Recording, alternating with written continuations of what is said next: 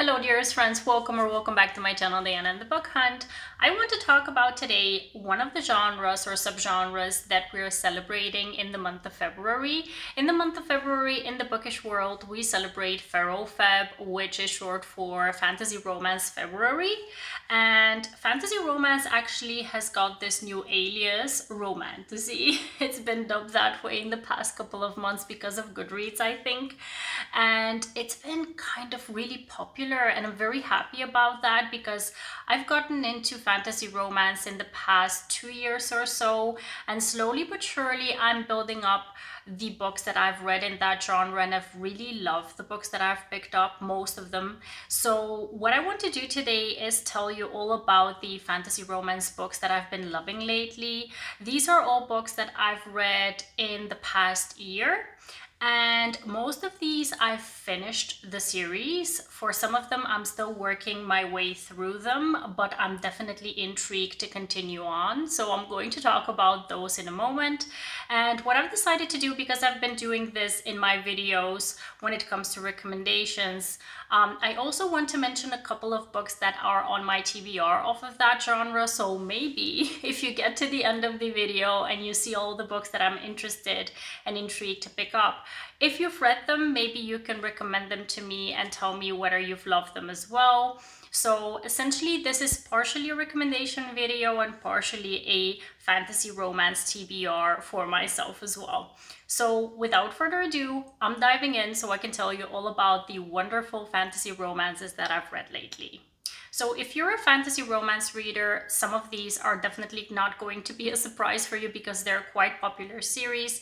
The first of them not being any kind of surprise, it's the Crown of Nyaxia series by Carissa Broadbent. This series blew up about a year, year and a half ago through booktube and Instagram, I think. The first book is called The Serpent and the Wings of Night and I really loved both of the books, the duology uh, of this story. We follow Oraya and Rain. Both of them are competing in this kind of competition that is happening every 200 years and the competition is very fierce because it's mainly between vampires. When it comes to the competition, the winner of that competition will win one wish with the goddess Nyaxia and it's a wish that is very coveted because you can get a lot of a lot of power through it. And we've got our heroine Oraya who actually is a human she was rescued by a vampire when she was very young because her city was under siege and this vampire he kind of adopted her and he actually was the like ruler of the realm at that time. And he still was the ruler when the Kejari was happening so he wanted her to participate in the Kejari because he wanted her to win it so that she can request a very specific wish that will have her protected from all of the vampires who are actually a very big danger to her and when she starts to compete, she meets Rain, who is a vampire. He actually used to be human, but he was turned. And he is a very powerful vampire and he kind of wants to ally with Oraya for specific reasons. So yeah, it's a very interesting story. If you love like the competition type of read, like the Hunger Games or anything like that, this definitely has that in abundance. There is a great romance within the duology.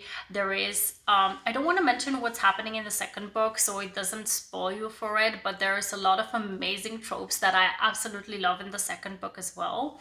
And the thing about uh, Carissa Broadbent's books is that I really love the politics within them. Typically, I really am very intrigued by politics within books. I really want to see how different ideologies and different types of um, social constructs are placed within a world and this was really a very good read for me. I really love the politics side of the books so yeah I really appreciated these. I gave both of them five stars. If you haven't picked them up yet please do so. The next series is one that I actually haven't heard anyone talking about. So this is one of the few that are not very popular through BookTube and Bookstagram.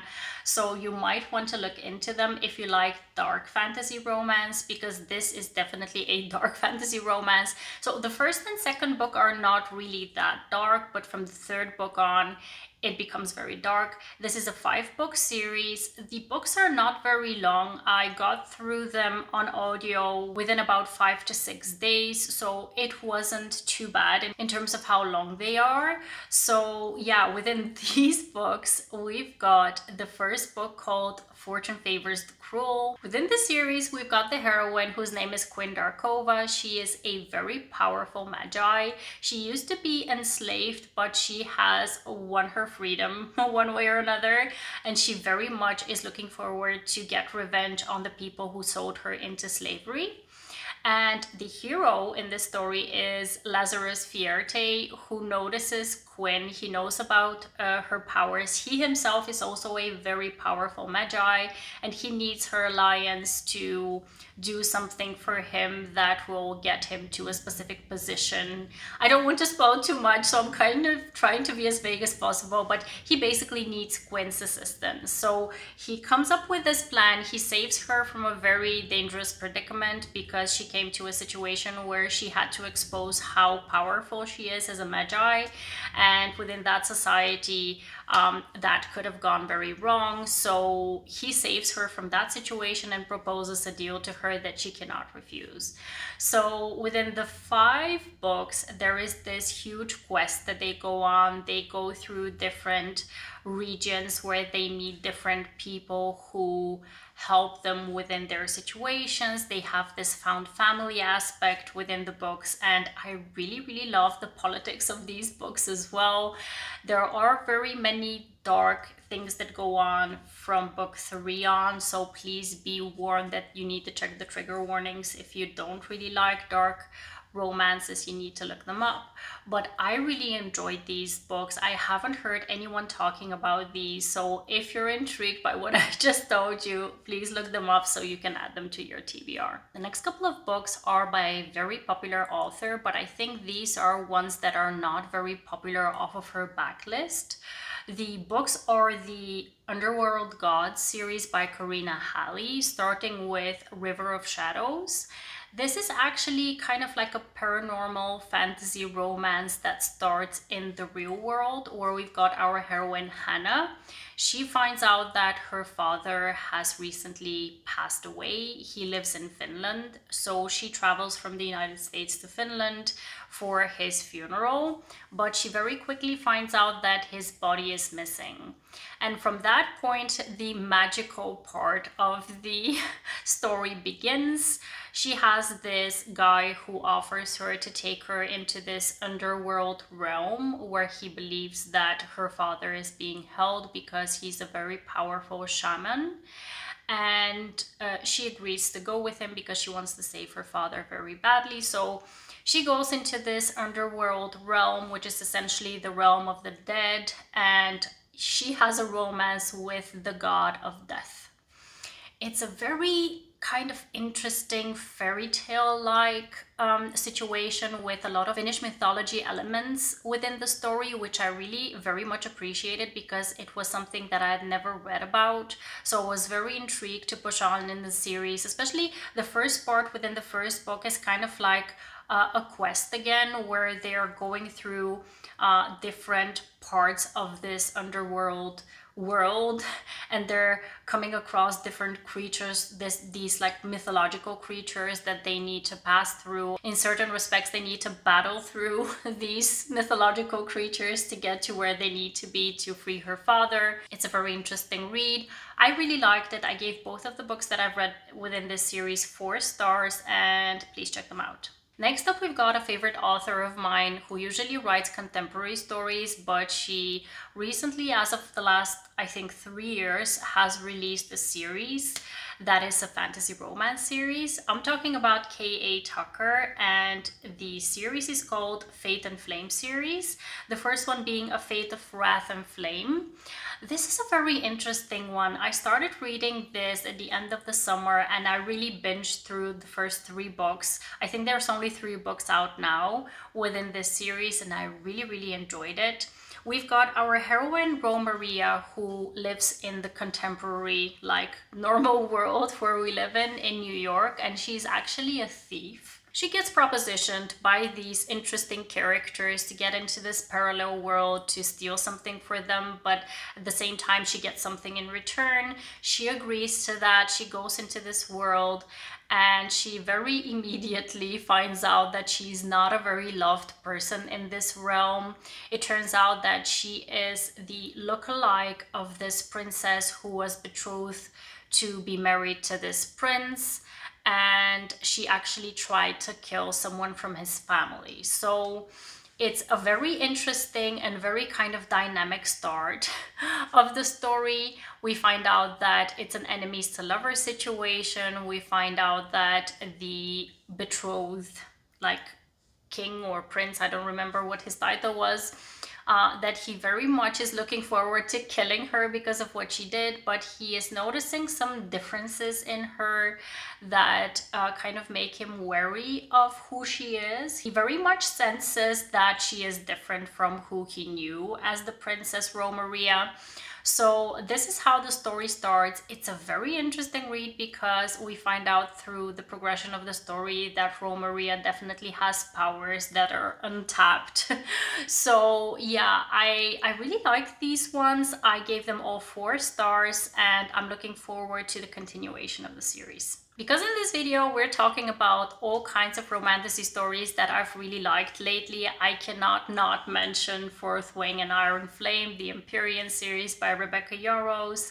I really enjoyed those stories. I gave Fourth Wing 4 stars, I gave Iron Flame 5 stars. I know it's an unpopular opinion, but I have my reasons for that. I think that I'm the type of reader that is just uh, more influenced by the political setting within a book. Uh, like I mentioned with Carissa Broadbent's book as well, uh, books as well.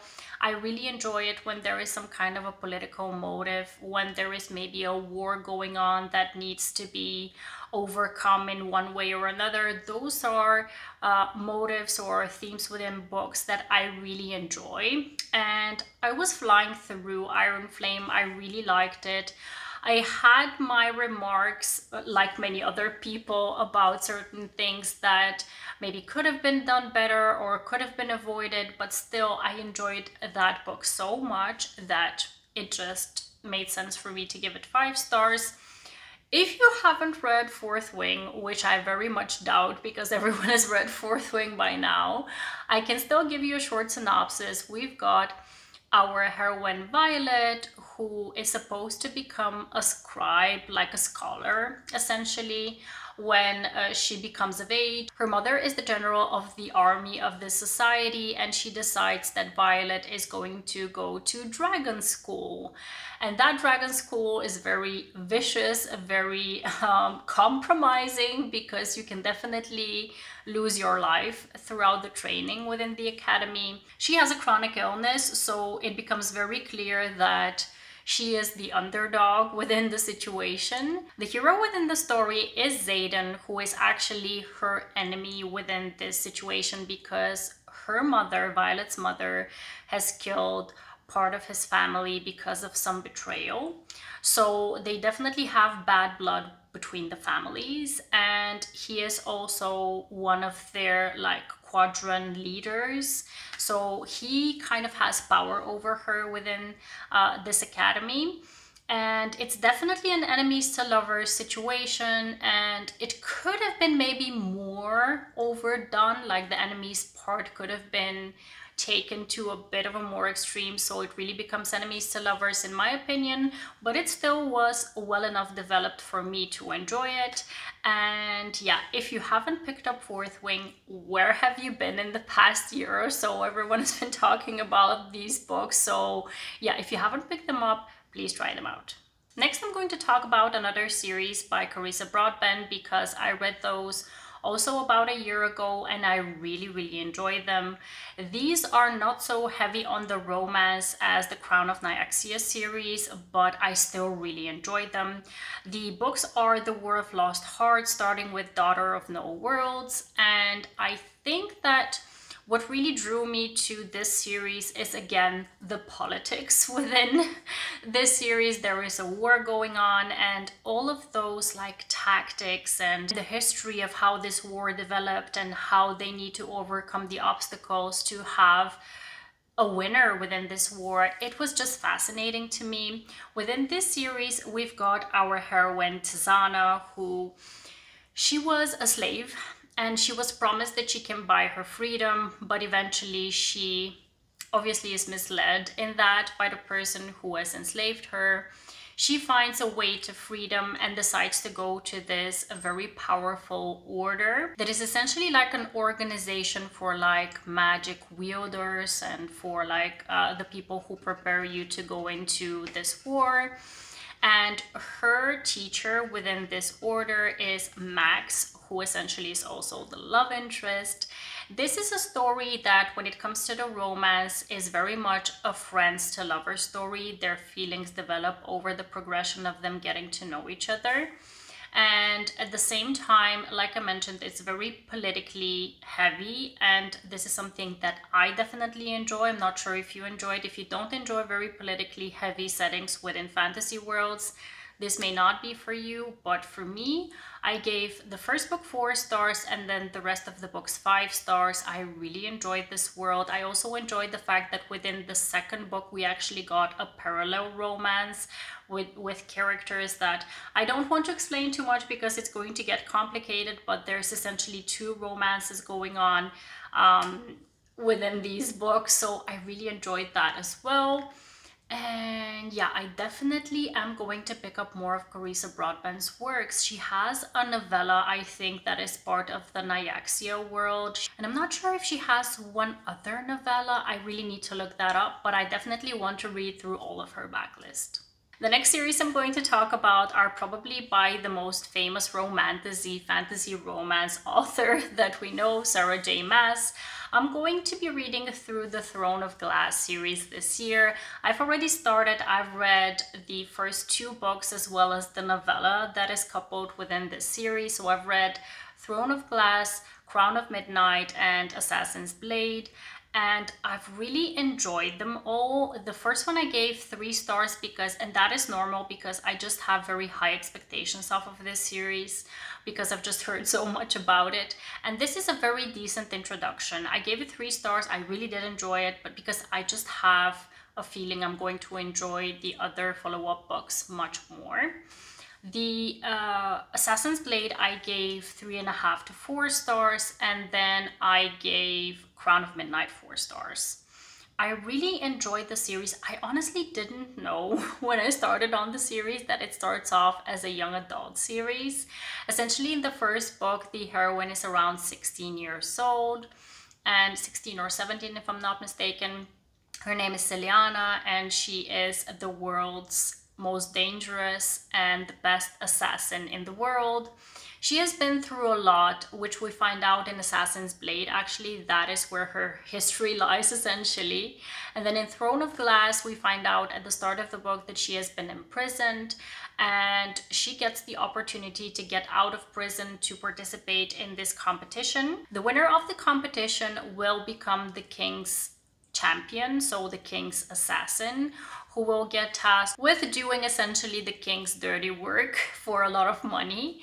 and she knows that she can win this even though she has been malnourished and she has lived through prison for specific reasons she knows that she can win this she gets help from the prince within this society, Prince Dorian, as well as, I'm not sure what his official title is, but like the King's Guard leader or something like that, Chaol.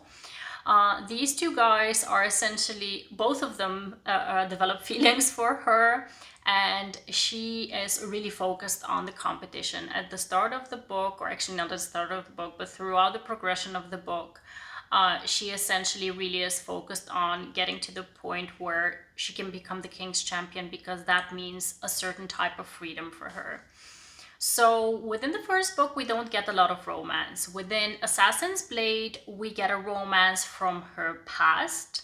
And then in Crown of Midnight, we get a romance between Celaena and one of the two guys that are introduced in the first book. So it's a very interesting world where a woman is kicking ass left and right. She is the best at what she does. I love that for her.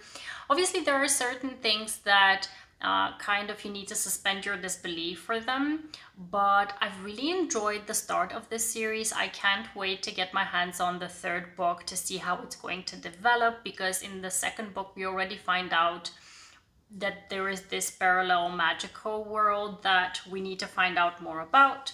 And we're going to dive into the history of Celaena's lineage more in the third book. So I'm very much looking forward to finishing this series this year. It's time to talk about the five books that are fantasy romance books that are very high on my TBR at the moment.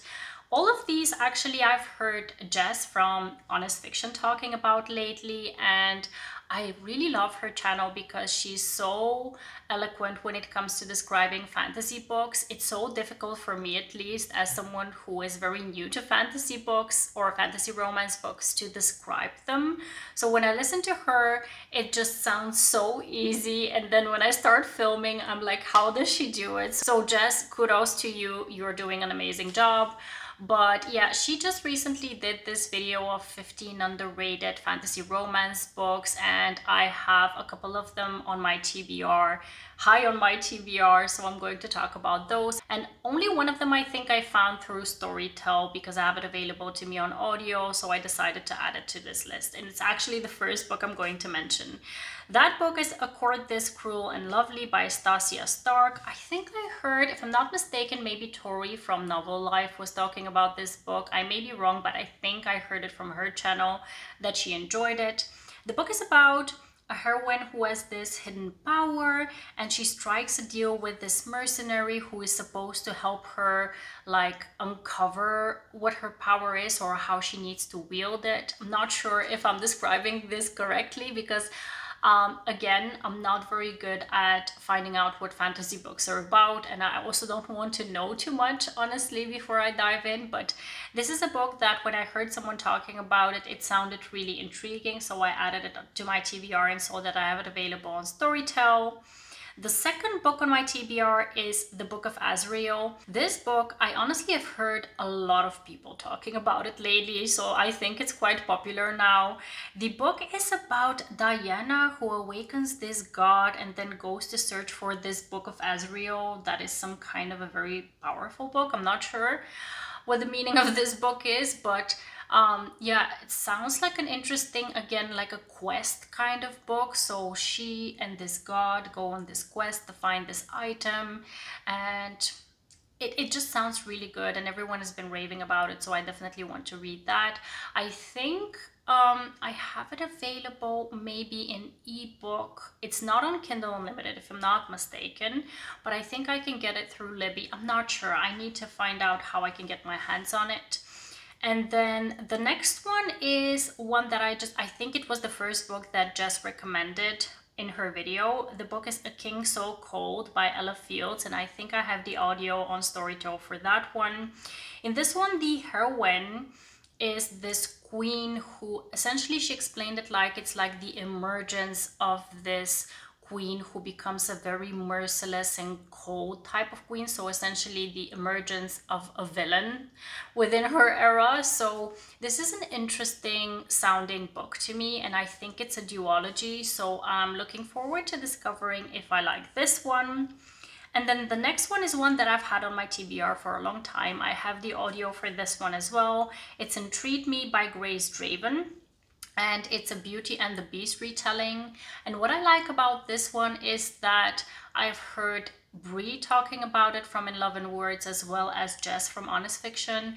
They both mentioned that it's kind of uh, like a mature kind of, the, the characters are really mature and that is something that I'm very much looking forward to discovering in fantasy books because most of the books that I've read center on the new adult age or young adult and I really want to have more adult uh, characters within my fantasies to see how I'm going to enjoy those. So I'm really looking forward to Entreat Me by Grace Draven. And then the last one is one that Jess was really raving about. She said that her viewers definitely need to pick this up. So I'm looking forward to discovering whether I like this one or not. The book is called A Court of Blood and Binding by Lisette Marshall. And this one, we've got a human heroine, we've got Fae, and what I remembered most about how she described it is that um, the hero within the story has difficulty speaking and the human heroine um, teaches him sign language or something like that. So that is something I'm very intrigued by. I definitely want to try out this book to see how I'm going to enjoy it. And there's many, many more that I have on my TBR, obviously, but these five I definitely want to get my hands on as soon as I can and as soon as I'm in the mood for them. So yeah, that wraps up my video about fantasy romances. FaRoFeb is coming to its end at the end of this week. However, I definitely am going to continue on reading fantasy romances. I think it's safe to say that at the moment, almost everyone is in their fantasy romance era. So I think it's safe to say that it's okay to continue on reading it after February. Please let me know which books you have enjoyed out of this genre. Have you been reading a lot of fantasy romances in? February. Tell me which ones you've enjoyed. Tell me which ones I should add to my TBR. Have you read any of the books that I mentioned in this video and what you thought about them? Please leave your opinions down below in the comment box. I look forward to reading them. And don't forget to subscribe to my channel, like my videos, and comment down below. I hope to see you in the next one. Have a wonderful, marvelous day. Happy reading. Take care and bye-bye.